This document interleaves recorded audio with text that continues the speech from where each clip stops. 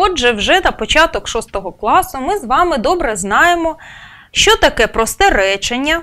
Пригадуємо речення, в якому є одна граматична основа. І важливий момент, який ми повторимо зараз, це чим саме може бути ускладнене просте речення.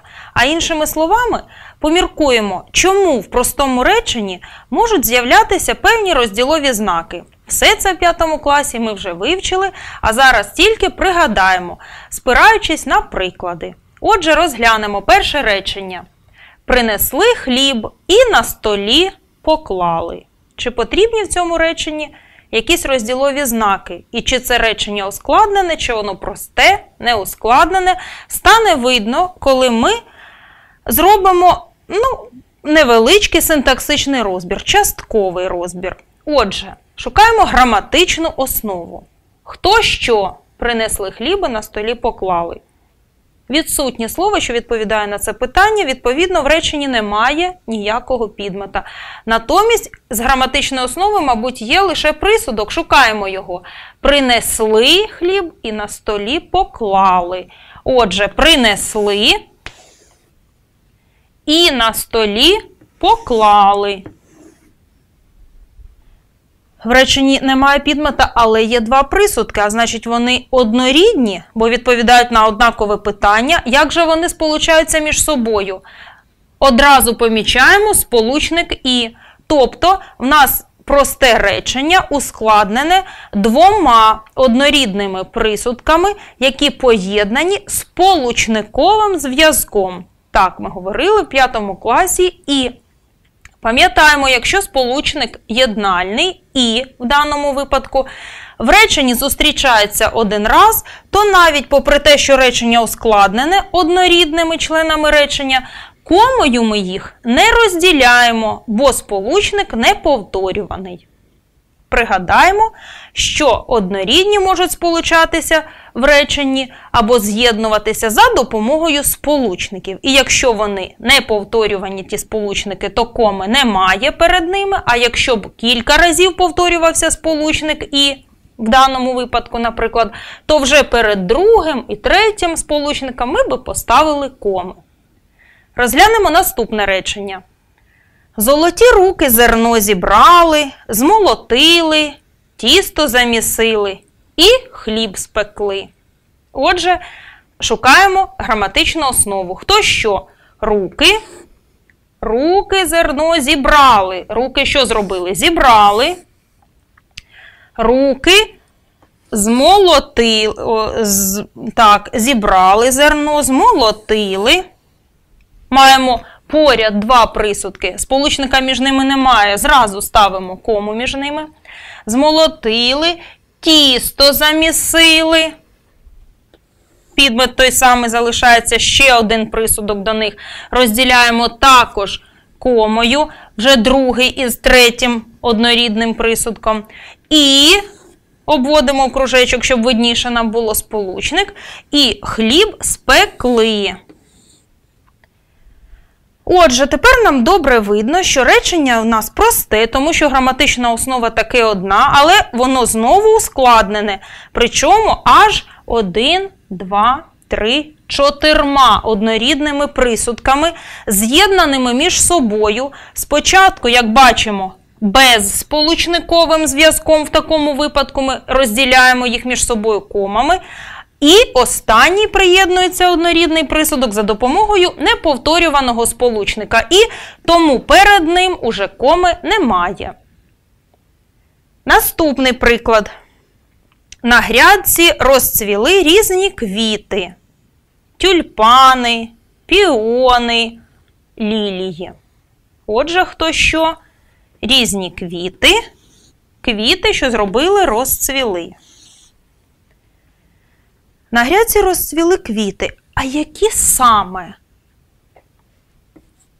Якщо можна підставити слова, а саме, то в основному, в такому випадку, ми будемо ставити двокрапку. Пригадуємо, тим більше, якщо далі йдуть такі самі члени речення, як уже були представлені до двокрапки, а саме квіти в називному відмінку стоїть, значить це підмет. А ще тюльпани також стоять в називному відмінку, то це теж підмет. А ще піони.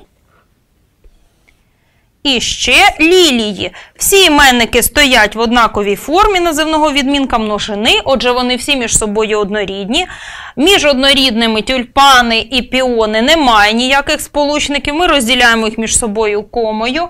Між піонами і ліліями також немає сполучника, тобто ці однорідні підмети з'єднуються за допомогою безсполучникового зв'язку. А перед цими трьома однорідними стояло, пригадуємо, слово квіти, яке ми будемо називати узагальнювальне слово. І якщо таке узагальнювальне слово, що виступає таким самим членом речення, як і подальші, воно стоїть перед цими однорідними, то ми відокремлюємо його від ряду однорідних за допомогою двокрапки. На наступному прикладі подивимося, що відбувається з розділовими знаками в простому реченні, коли узагальнювальне слово ем, переставляється в інше місце в реченні, а точніше, опиняється вже після однорідних. Читаємо приклад.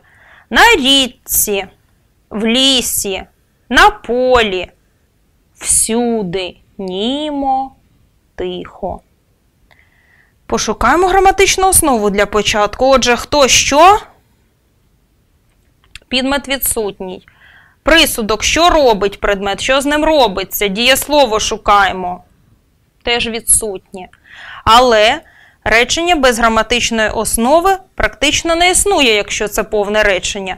Тому на ріці, в лісі і на полі всюди було або є, пропущено дієслово зв'язку є, так, було або є як, є як, є німо і є тихо. Маємо два присудки, виражені як німо, як тихо, прислівниками, так? але між ними немає ніякого сполучника, то ми розділимо їх між собою комами і пошукаємо ще, чим ускладнене це речення, окрім двох однорідних присудків. Де на річці, ще де в лісі. Дві обставини однорідні сполучаються, з'єднуються безполучниковим зв'язком, тому ставимо кому між ними. А ще де на полі. Всі три обставини відповідають на однакове питання, тобто вони є всі між собою однорідні. Розділяємо їх комами, бо безполучниковим зв'язком з'єднані. Але після цих трьох обставин місця, де на ріці в лісі на полі, і ще де всюди.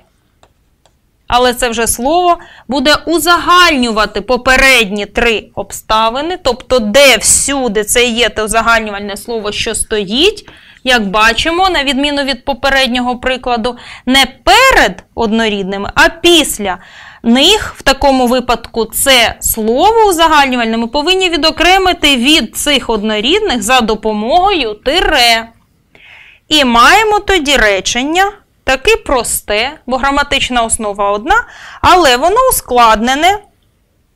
Ось один ряд однорідних обставин, ускладнене рядом однорідних обставин, а також іншим ще рядом однорідних присудків.